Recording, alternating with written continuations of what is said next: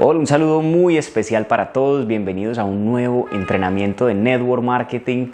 Un entrenamiento que seguramente te va a servir demasiado en tu proceso y será una información de mucho valor principalmente para esas personas que realmente tienen la intención de construir algo grande en esta industria. Esto es un entrenamiento para esas leonas y esos leones, esos gladiadores que ya se tomaron hace mucho tiempo en serio esta oportunidad y efectivamente quieren llegar a los máximos niveles dentro de su compañía de redes de mercadeo.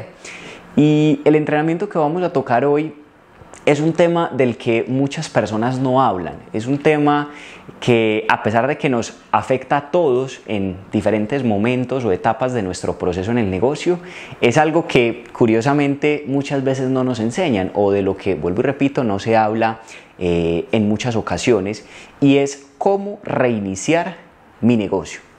¿Ok? Voy a escribirlo aquí. ¿Cómo reiniciar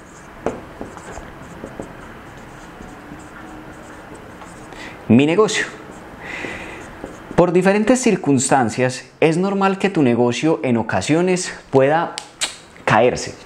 Es normal que, pongo un ejemplo, tienes un equipo y por circunstancias personales o externas, ese equipo ya no continúe y debas volver a empezar de cero. Es normal que en ocasiones haya personas que se tomen un tiempo y digan, no quiero hacer más el negocio durante X cantidad de tiempo. Pongo un ejemplo, unos cuantos meses o incluso años. Hay personas que incluso toman la decisión definitiva de no hacer más el negocio, es decir, de rajarse, como decimos coloquialmente. Pero luego de un tiempo, luego de una temporada, luego de experimentar otro tipo de cosas, las personas que en ocasiones toman la decisión de dejar de hacer el negocio, enfrentan otro tipo de actividades en el mundo tradicional y concluyen que las redes de mercadeo son sencillamente el mejor modelo de negocio para crecer financiera y personalmente y toman la decisión de regresar. Y luego se hacen entonces la pregunta y es, ¿cómo vuelvo a empezar? ¿Ok? Hay muchas personas que a mí en ocasiones se me acercan y me dicen, Juan, dame un consejo para volver a levantar mi negocio, porque hubo una temporada en donde yo estaba teniendo muy buenos resultados, en donde mi equipo estaba creciendo, en donde yo estaba cobrando, pero quizá por la pandemia o quizá por diferencias con algún líder de la organización o incluso porque la empresa con la que estaba afiliado se fue de mi país que ese es como, digamos, el peor de los escenarios. Procura no afiliarte con empresas de dudosa procedencia y que su futuro eh, esté en riesgo, porque esa sería ya, digamos, una situación que tú no puedes controlar. Pero continúo con el caso, muchas personas me dicen, dame una palabra o un consejo para volver a empezar en mi proyecto. Hay otros que me dicen, Juan, yo nunca me he detenido de hacer el negocio, pero yo no sé qué me pasó pero hoy me siento estancado, hoy como que no sé qué hacer, hoy como que no fluyo, hoy como que sencillamente las cosas no se me están dando, a pesar de que tiempo atrás venía muy bien, venía creciendo, venía alcanzando rangos, hoy en día mis resultados son prácticamente nulos. Entonces, hoy quiero hacer este entrenamiento precisamente dedicado a esas personas que en algún momento se han hecho esa pregunta, a esas personas que quieren volver a empezar su negocio de la mejor manera, quieren volver a tener resultados o tenerlos por primera vez y pues efectivamente alcanzar la promesa de libertad y de abundancia que tiene esta industria. En primer lugar, para poder empezar, quiero felicitarte, porque si tú hoy tienes la intención de hacer esto en serio, ya estás desmarcándote de la mayoría de la gente. Fíjate que el común de las personas, cuando se trata de trabajar por un sueño, cuando se trata de sacar un negocio adelante, cuando se trata de ser consistentes, perseverantes, obstinados, tenaces de cara a un objetivo, tienden a tirar la toalla, tienden a dejar las cosas a medias, tienden a renunciar, porque claro, es mucho más fácil renunciar cuando las cosas se ponen difíciles que seguir intentándolo hasta que efectivamente funcione. Hay personas que enfrentan la vida con una actitud de voy a ver si las cosas se me dan y si no, pues me pongo a hacer algo más ya vemos otros que tenemos una actitud de cara a las cosas que es voy a hacer que pase y punto, así se me vaya la vida en ello, así me cueste lo que me cueste, así me tarde lo que me tarde, así me demore lo que me demore, así tenga que volver a empezar las veces que tenga que volver a empezar. Eso es un espíritu de conquistador, eso es, digamos, eh, la esencia que se requiere para poder conquistar el éxito, no solamente en redes de mercadeo, sino en cualquier modelo de negocio o proyecto. Hay una frase que a mí me gusta mucho que dice que conocemos el tamaño de un hombre o de una mujer por el tamaño del problema que tiene la capacidad de desmotivarlo y hacerlo desfallecer. Y si tú eres de esas personas que no te rindes, que puede pasar el tiempo y sigues firme, que eres confiable, que eres leal con un objetivo, con un proyecto, con un equipo, vuelvo y repito, déjame felicitarte. Porque si tienes esa actitud y no paras de hacer las acciones que te voy a enseñar a continuación, créeme que vas a llegar. Y te lo dice alguien que en su proceso de casi 10 años de, estar en esta industria, he tenido muchos momentos de oscuridad, he tenido muchos momentos de frustración, he tenido muchos momentos de duda en donde me he preguntado, ¿será que esto sí me va a funcionar algún día? ¿O será que como ya me funcionó, volverá a funcionarme o incluso mejor? Es normal, todos pasamos por esas etapas, por esos valles de incertidumbre, pero si seguimos caminando, inevitablemente vamos a superarlos. En segundo lugar, quiero decirte que hoy debes estar demasiado agradecido, porque hoy tienes que entender que la industria de las redes de mercadeo es como, yo lo denomino como un videojuego. Fíjate que si tú juegas un videojuego, cualquiera que te guste, ¿Qué sucede si a ti como personaje del videojuego, superando alguno de los niveles, mueres? Es decir, un enemigo te mata o te caes por un hueco. Es decir, ¿qué sucede si tú en el videojuego pierdes el nivel? No pasa nada. Reinicias la consola, es decir, vuelves a empezar y ya está. No moriste físicamente, murió un personaje ficticio que tiene la posibilidad de volver a empezar. Lo mismo sucede en las redes de mercadeo. Al ser una industria tan apalancada, en donde hay una empresa que es quien nos pone la infraestructura, los productos, los empleados, al tener una empresa que es nuestra socia, que es quien se encarga de asumir todos los costos operativos, de cubrir todos los gastos mensuales, pues lo peor que nos puede pasar en esta industria es que no pase nada. Porque fíjate que en este modelo empresarial tú no te endeudas, tú no tienes que cumplir con unas responsabilidades obligatorias, tú no tienes que sacar de bolsillo tuyo un arriendo, tú no tienes que sacar de bolsillo tuyo una nómina, tú no tienes que eh, lidiar con proveedores, porque de todos esos puntos que son los complejos a la hora de montar un negocio, se encarga tu socio, se encarga la empresa. La empresa con la que tú trabajas, en este caso Gano Excel, que es mi caso personal, nos dice, chicos, yo les pongo todo. Ustedes no tienen que preocuparse ni por oficinas, ni por mantenimiento, ni por empleados, ni por proveedores, ni por importaciones. Yo voy a asumir todos los costos. Luego, como tú no tienes riesgos, es un negocio en donde es imposible que mueras financieramente hablando. Cosa que si tú en este modelo empresarial te das el lujo de no tener resultados seis meses, no pasa nada. O incluso si tú dejas de hacer el negocio un año y tomas la decisión de volver, yo siempre digo que este tipo de compañías son como un padre que espera al hijo pródigo, que te espera todo el tiempo que tú desees. Hace poco conversaba con un socio que tiene una empresa de vidrios en la ciudad de Medellín y fue un chico que empezó muy bien en el negocio, muy bien, pero por diferentes circunstancias tomó la decisión de retirarse del negocio. Como esto es un negocio de voluntarios, pues yo simplemente le dije, Dios te bendiga, cuentas conmigo y si algún día quieres volver, esta es tu casa y esta es tu familia. No tu equipo, tu familia. El caso es que como un año y medio después me escribe y me dice, Juan, yo quiero hablar contigo. Yo, mi socio, ¿qué más? ¿Cómo estás? ¿Cómo te ha ido? ¿Cómo va tu vida? Cuéntame de qué quieres que hablemos. Y me dijo, yo quiero volver a empezar el negocio. Yo quiero retomar la oportunidad. Y yo le dije, ¿por qué? Y me dijo, porque ya entendí que mejor que Gano Excel, que mejor que las redes de mercadeo, no hay ningún otro negocio. Y yo, ¿por qué? Cuéntame. Me dice, porque yo tengo una empresa en donde soy el empleado esclavo. Es decir, la empresa no es mía, sino que la empresa me tiene a mí. Entonces él me decía, yo soy el primero que entro, el último que me voy y lo tengo que hacer de lunes a sábado. Todos los gastos me toca cubrirlos a mí. Los ingresos que produzco me toca utilizarlos para pagar arriendo, para pagar nómina, para pagar proveedores, para pagar servicios, para pagar aquello, para pagar lo otro. Y si en el ejercicio de un mes no sobra dinero, pues ese mes yo no tengo salario, porque me toca primero pagarle el salario a los empleados que pagarme el mío. Además, me decía, la competencia es fuertísima, no solamente la nacional, sino la internacional.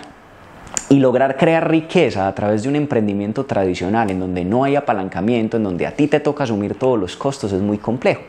Pero cuando, me decía, cuando comparo mi negocio tradicional con la oportunidad de las redes de mercadeo, en donde tengo un equipo que me apoya, una empresa que me pone todo, un negocio que puede escalar a nivel nacional y a nivel internacional supremamente fácil, en donde no hay competencia, en donde tengo un sistema de negocio que ya está comprobado que funcione, que si yo lo sigo voy a tener resultados, pues la expresión que él hizo fue yo en mi negocio estoy bobeando si no aprovecho el tiempo para hacer redes de mercadeo. Y hay muchas personas, efectivamente el chico volvió al negocio, está trabajando muy bien, pero hay muchas personas que le sucede lo mismo que empiezan en, en, la industria de las redes de mercadeo y no son conscientes de en qué empezaron. Es decir, simplemente reciben una llamada de un familiar, de un amigo, de un desconocido, les presentan un negocio y dicen, bueno, listo, interesante, yo entro, pero no se lo toman en serio porque no han leído, porque no se han educado, porque quizá no han tenido experiencias montando negocio en otra parte. Por eso se toman el negocio a la ligera, por eso no le dan la importancia que merece, por eso no se profesionalizan. Y es muy normal o muy común que muchas de las personas que inician sin ser conscientes de lo que tienen se salgan, enfrenten el mundo real, busquen empleo, monten negocio, concluyan que el empleo es terrible y el emprendimiento también y por consecuencia y por descarte digan yo tengo que volver a casa, tengo que volver a hacer el negocio. Entonces no sé cuál sea tu caso, pero hoy quiero enseñarte cómo volver a empezar tu negocio independientemente en el punto en el que estés, partiendo de esos dos elementos. Agradece por hacer parte de la industria de las redes de mercadeo y sé consciente que lo puedes volver a hacer las veces que desees, pero eso sí, si vas a volver a empezar, no vuelvas a detenerte. ¿Ok? Y quiero partir de ahí. Te voy a enseñar qué actividades tienes que hacer para reiniciar tu negocio, pero quiero que hagamos un compromiso tú y yo. Y es que si vas a volver a empezar a hacer este negocio y vas a tomar la decisión de hacerlo en serio, nunca más vas a volver a parar hasta que llegues. Y te lo advierto, te van a decir que no. Van a haber momentos difíciles, te vas a frustrar en el proceso. Van a haber personas que se unan a tu equipo y no se comprometan. Vas a recibir burlas, bullying o comentarios negativos por parte de terceros ignorantes frente a la industria. Si tienes la capacidad de lidiar con todo eso, bienvenido y sigue viendo el video hasta el final. Si no, apágalo y ponte a hacer otra cosa porque el éxito en esta industria no es para ti. Entonces vamos a empezar. Lo primero que te recomiendo, si vas a volver a empezar a hacer tu negocio, es que entiendas que este negocio no es un negocio de pensar, no es de pensar, es de accionar. Hay muchas personas que se vuelven filósofos del network marketing. Entonces se escuchan todos los videos, se ven todos los libros, asisten a todos los eventos, incluso escuchan entrenamientos de otras empresas de redes de mercadeo buscando el secreto, buscando la clave. Tienen un exceso de información en su mente, que no está mal, pero que a la larga se empieza a volver muy pesada, se empieza a volver... Eh, te oxida, por decirlo de alguna forma. Y muchas veces a esas personas que se la pasan capacitándose, que se la pasan entrenándose, que se mantienen en su zona de confort de aprendizaje, porque capacitarse no te saca de tu zona de confort, por ende lo haces todo el día, tú le preguntas, ven, está bien que te hayas leído los 784 libros de John Maxwell, está bien que te sepas todas las teorías de cierre de las redes de mercadeo, pero dime una cosa, ¿cuántas presentaciones has hecho esta semana? ¿Cuántos clientes nuevos tienes para tu producto esta semana? ¿Cuántas personas has agregado a tu lista de contactos esta semana? ¿Cuántos invitados tienes en los eventos de tu empresa esta semana? Y la respuesta a todas esas preguntas es cero, cero, cero, cero, cero, cero. Entonces, esa es quizá la razón por la que la gente no avanza. Y yo me he dado cuenta que cuando la gente se estanca en el negocio de las redes de mercadeo es porque deja de accionar y se sienta a pensar. Hace poco hablaba con unas chicas de un equipo que yo tengo en la ciudad de Bogotá y me preguntaban, Juan, lo que pasa es que sentimos que el equipo no está caminando como venía caminando, es decir, no está produciendo como usualmente produce. Y yo les pregunté, niñas, ¿y por qué? Y me decían, no sabemos, usted es el diamante, díganos usted. yo sí sé, pero les quería preguntar a ellas a ver a qué conclusión llegaban. Y yo les dije, yo les pregunto, niñas, díganme cuáles fueron las acciones que ustedes ejecutaron la mejor semana que han tenido en este negocio, es decir, la semana en la que más puntos han tirado, la semana en la que más dinero han cobrado, pregúntense qué hicieron, qué hacían el lunes, qué hacían el martes, ¿Qué hacían el miércoles, el jueves, el viernes, el sábado, el domingo? Y ellas solitas me respondían, me decían, Juan, yo, nosotros los lunes hacíamos dos o tres reuniones en las casas de los socios, los martes también, los miércoles también, los jueves también, los viernes también, los sábados también, los domingos también. Además de todos los días hacer reuniones de negocio, coffee breaks, todos los días hacíamos horas de fuerza con los nuevos socios, es decir, nos sentábamos con ellos a hacer llamadas, a trabajar sus listas de contactos para llenar los espacios de la noche y para sacar one-to-ones o presentaciones individuales durante la tarde. Yo, ah, qué interesante. ¿Qué más hacían? Ellas me decían, nosotros a todas las personas que quedaban interesadas las invitábamos a otros eventos. Todas las semanas teníamos 5, 10, 15, 20 personas que estaban en seguimiento, conectadas a los espacios, terminando de resolver dudas. Y luego yo les preguntaba, ¿y qué pasaba después de esos eventos? Y ellas me decían, salían y pagaban, se afiliaban esas personas que conectábamos a los eventos. Ok, ¿qué más hacían? Me decían, nosotras nos reuníamos todos los días en las noches para revisar cómo íbamos. Nos reuníamos para también planear qué íbamos a hacer al día siguiente, los días siguientes. Yo, ¿qué más hacían? Díganme, ¿qué más hacían? Y me decían, todos los días nos enfocábamos en analizar qué rangos dentro de nuestro equipo había por sacar. Es decir, qué personas estaban cerca de un siguiente nivel y nos concentrábamos en terminar de sacar lo que hiciera falta para que saliera ese resultado. Y yo, ¿qué más hacían? Díganme. Y me decían, nos enfocábamos en llenar los eventos mensuales. Trabajábamos en que cada vez hubieran más personas de nuestro equipo en esos eventos. ¿Qué más hacían? me decían, todos los días tratábamos de firmar nuevas personas, de patrocinar nuevos directos, de traer nuevas líneas frontales al negocio. Y yo, ok, no me digan qué más hacían. Quiero hacerles otra pregunta. Ellas me decían, ¿cuál? Yo les decía, comparen esas semanas en las que ustedes estaban estalladas con la semana en curso. Y ahí mismo les cambió el rostro. Yo les preguntaba, ¿será que esta semana en curso ustedes han hecho la misma cantidad de presentaciones que solían hacer en sus mejores semanas? La respuesta era no. ¿Será que esta semana ustedes se concentraron en llevar a la gente que estaba en seguimiento a los eventos o lo descuidaron? La respuesta era lo descuidamos. ¿Será que esta semana ustedes ya se reunieron con el equipo y empezaron a programar cuáles eran las metas? La respuesta era no. Entonces fíjense que las personas cuando dejan de tener resultados en el negocio, básicamente es porque dejaron de accionar y se pusieron a pensar. Entonces yo les veía a ellas el rostro cuando estaban en sus mejores semanas y estaban estalladas, entusiasmadas, no tenían tiempo para pensar tonterías, solamente se capacitaban un poco en las mañanas y el resto del día a dar candela, a construir la red. Pero hoy día, les decía, la agenda está vacía, no hay acciones, no hay presentaciones y cuando el cuerpo y la mente no están ocupadas en producir, se sientan a pensar tonterías, a generar dudas, miedos, ansiedad. Y desde las dudas, el miedo y la ansiedad no se construye nada positivo en la vida. Entonces yo les dije, chicas, vuelvan a hacer lo básico. Enfóquense esta semana, y esto te lo quiero recomendar a ti, en hacer lo que te corresponde a ti. Pregúntate, si tú tienes equipo, ¿Cuántas personas tienes en este momento vivas y dispuestas a trabajar? Si la respuesta es Juan, no tengo absolutamente a nadie, solamente cuento conmigo mismo, perfecto, no necesitas nadie más. Lo que vas a hacer es volver a firmarte nuevas líneas. Firmar nuevas líneas. ¿Y cómo lo vas a hacer?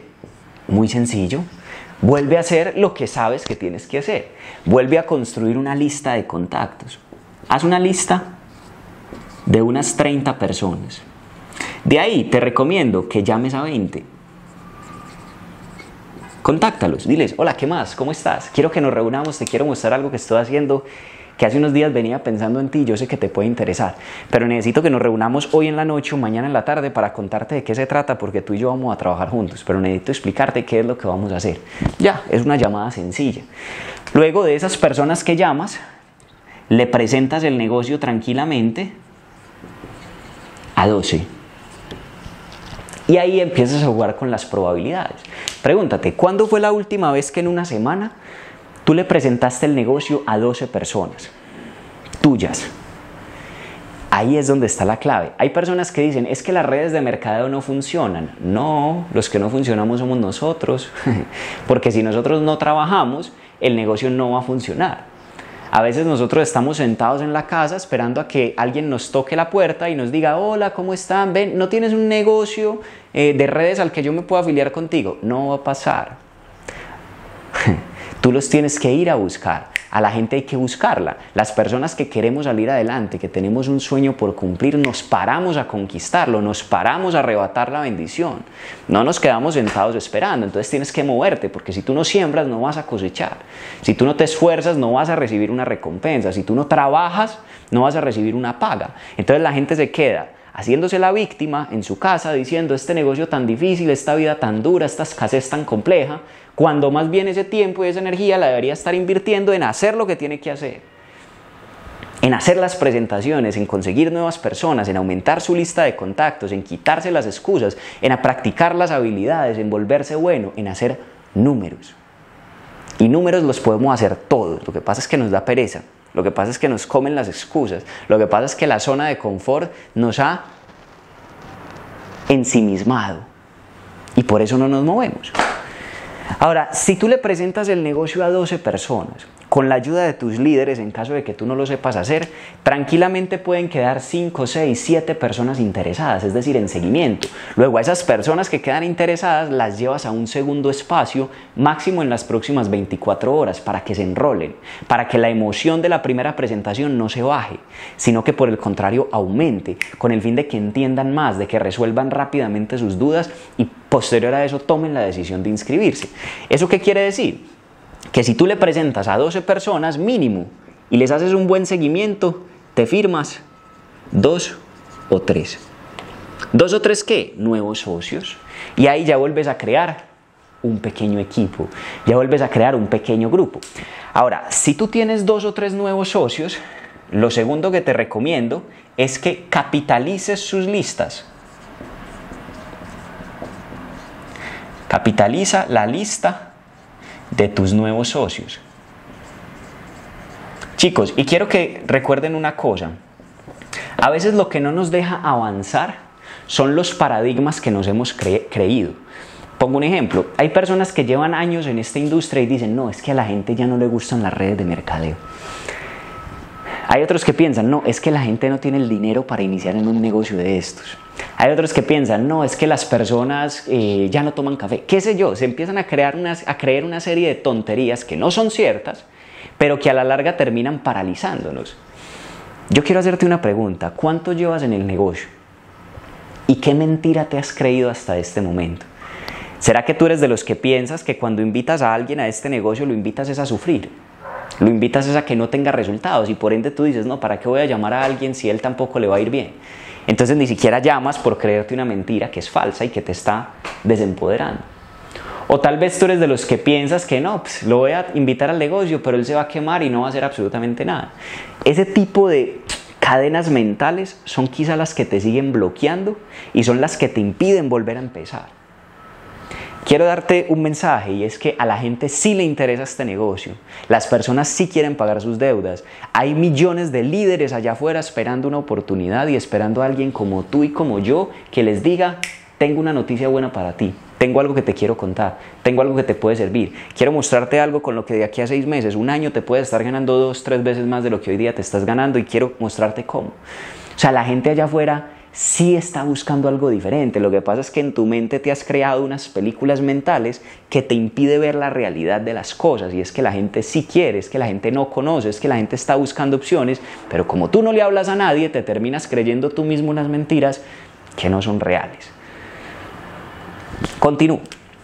Una vez que tú ya tengas un par de directos nuevos, un par de frontales nuevos, capitaliza la lista de tus nuevos socios. Es decir, si tú tienes tres socios, y a cada uno de ellos le enseñas a hacer una lista de 100 personas, estamos hablando de que tú ya tienes una nueva base de datos de 300 personas. Es decir, ya tienes una nueva lista de 300. No son tuyos, pero esa es la magia del apalancamiento en la gente de otros. Tus socios conocen gente, tú tienes la habilidad, luego entonces tú te sientas con ellos, a programar números, números, números, números, números, presentaciones, presentaciones, presentaciones.